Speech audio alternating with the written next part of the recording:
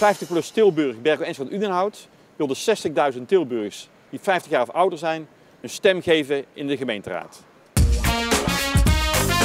Als 50 plus gaan we ons hard maken voor veiligheid in onze mooie stad. Het gaat om veiligheid in het verkeer. Bijvoorbeeld de Cityring willen we veiliger maken. Onder andere door in de daluren gratis openbaar vervoer aan te bieden. In Hasselt hebben we gezien dat daardoor de ring gehalveerd kon worden. Weer de veiligheid ten aanzien van stoeptegels die fout liggen, uh, stakken die over de weg hangen. Dat de gemeente snel zorgt dat dat soort dingen opgeruimd wordt.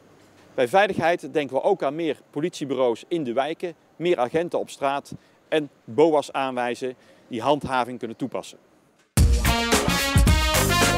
50PLUS vindt economie belangrijk. En we zien in onze stad mooie ontwikkelingen. Grote nieuwe bedrijven als Hudson B, Tesla en andere. Waarbij we als 50PLUS zeggen, die brengen werkgelegenheid met zich mee, die moeten we ondersteunen. Natuurlijk moeten we niet vergeten de MKB'ers en de ZZP'ers die de motor zijn van onze economie. Verder vinden we belangrijk armoedebestrijding. In Tilburg zijn er zo'n 7.000, 8.000 mensen die onder de armoedegrens uh, zitten. Die willen we graag helpen. Ook gaan we ervoor zorgen dat woningcoöperaties meer betaalbare woningen gaan neerzetten voor alle leeftijdsgroepen in Tilburg.